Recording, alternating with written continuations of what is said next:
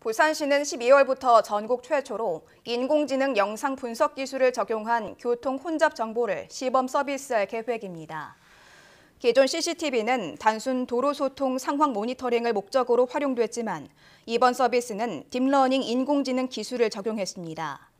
이에 따라 다양한 환경에서 자료를 수집한 뒤 신호 운영과 교차로 구도를 반영한 도로 혼잡 정보를 홈페이지, 모바일 등을 통해 시민들에게 제공할 계획입니다.